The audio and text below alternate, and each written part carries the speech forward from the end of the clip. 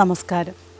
നാടെങ്ങും പട്ടിണിയിലായ ഒരു കടുത്ത തണുപ്പ് കാലത്ത് ന്യൂയോർക്കിലെ രാത്രി കോടതിയിൽ പ്രതിക്കൂട്ടിൽ വൃദ്ധയായ ഒരു സ്ത്രീ കീറിപ്പറിഞ്ഞ വസ്ത്രമാണ് അവർക്കുള്ളത്. വിറയാർന്ന ശബ്ദത്തിൽ അവർ ന്യായാധിപനോട് പറയുന്നു സർ ഞാൻ റൊട്ടി മോഷ്ടിച്ചു എന്നുള്ളത് സത്യമാണ്.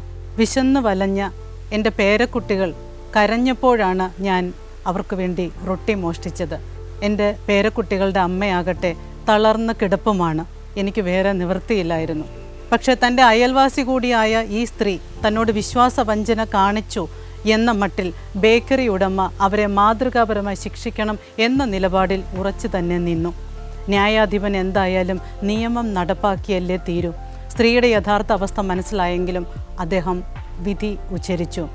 പത്ത് ഡോളർ പിഴ കൊടുക്കണം അല്ലെങ്കിൽ പത്ത് ദിവസം തടവ് അനുഭവിക്കണം ന്യായാധിപന്റെ ശിക്ഷ കേട്ട ഉടനെ തന്നെ സ്ത്രീ പൊട്ടിക്കരഞ്ഞു. കാരണം എന്റെ കയ്യിൽ ഒരു ഡോളർ പോലുമില്ല. ഞാൻ ഈ അവസ്ഥയിൽ തടവിലായാൽ പേരക്കുട്ടികളെ ആരും നോക്കും. പക്ഷേ ശിക്ഷാവാചകം ഉച്ചരിച്ചു കഴിഞ്ഞ ഉടനെ തന്നെ ന്യായാധിപൻ ചെയ്ത ഒരു കാര്യമുണ്ട് അദ്ദേഹം. തന്റെ പോക്കറ്റിൽ കൈയിട്ട് പത്ത് ഡോളർ എടുത്ത് കോടതി ജീവനക്കാരനെ ഏൽപ്പിക്കുകയാണ് ഈ വൃദ്ധയുടെ പിഴയായി ഇത് സ്വീകരിച്ചു കൊള്ളുക.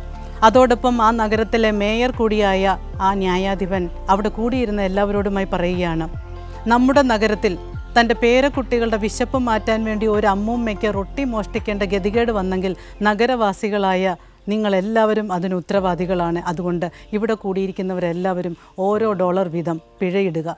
അങ്ങനെ എല്ലാവരോടുമായി പിഴയായി പിരിച്ച തുക നാൽപ്പത്തിയേഴ് ഡോളർ. അതുകൂടി ആ വൃദ്ധയായ സ്ത്രീക്ക് നൽകിയാണ് അവരെ അവിടെ നിന്ന് ന്യായാധിപൻ യാത്രയാക്കിയത്. പ്രിയമുള്ളവരെ കാരിരുമ്പിന്റെ കാർക്കശ്യമുള്ള നിയമവും കാരുണ്യത്തിന്റെ ആർദ്രതയും കൂട്ടിമുട്ടുമ്പോൾ കാരുണ്യം ജയിക്കുന്നതാണ് നാം ഈ സംഭവകഥയിൽ കാണുന്നത്. അതുപോലെ തന്നെ കുറ്റവാളികൾ രൂപം കൊള്ളുന്നതിൽ സമൂഹത്തിനും ഒരു ചെറിയ പങ്കുണ്ട് എന്നുകൂടി ഇവിടെ വിവക്ഷയുണ്ട്. ദലൈലാമ പറയുന്നത് പോലെ നമുക്ക് സന്തോഷമുണ്ടാകണമെങ്കിൽ നാം മറ്റുള്ളവരോട് കാരുണ്യം കാണിക്കണം. മറ്റുള്ളവർക്ക് സന്തോഷമുണ്ടാകണമെങ്കിലും നാം അവരോട് കാരുണ്യം കാണിക്കണം. അപ്പോൾ പിന്നെ നമ്മുടെ ജീവിതശൈലിയിൽ കാരുണ്യം ഒരിക്കലും ഒഴിച്ചുകൂടാനാവില്ല.